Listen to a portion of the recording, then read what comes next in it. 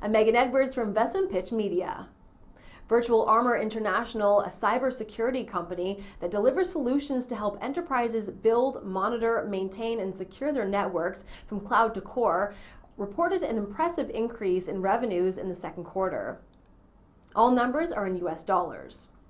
For the quarter ended June 30th, 2016, the company reported total revenues of $3,169,000, an increase of 63% over the $1,943,000 reported in the comparable quarter in 2015.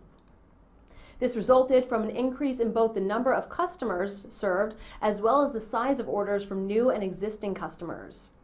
The company recorded a net loss of $501,800 for the quarter compared to net income of $169,000 for the comparable quarter in 2015.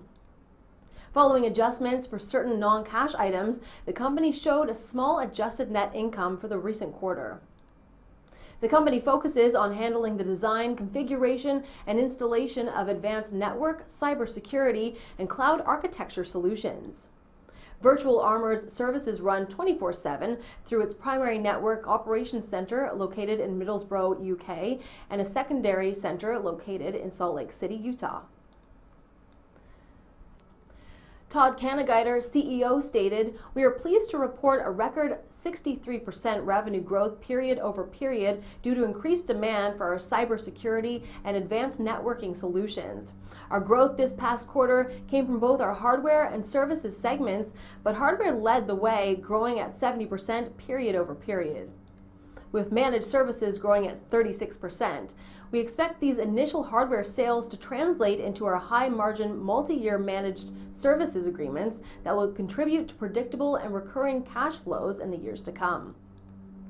Matthew Brennan, president, added, also, during the first six months, we began our much anticipated expansion by doubling the size of our sales staff in an effort to scale our operations and gain traction in a market we believe to be very underserved. For the duration of this year, we anticipate strategically adding additional personnel to various pockets of the U.S. and Canada where we believe we will get the best return for our shareholders. During the quarter, the company expanded its sales force to meet surging cybersecurity solution demands, appointing new sales professionals in Seattle, Washington, Portland, Oregon, and the Bay Area in California.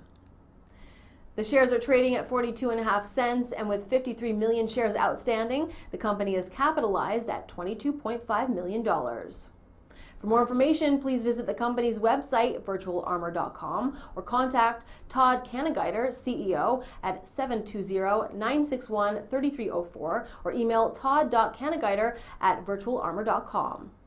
Investor relations is handled by Babak Pedram of Virtus Advisory, who can be reached at 416-644-5081 or email bpedram at virtusadvisory.com.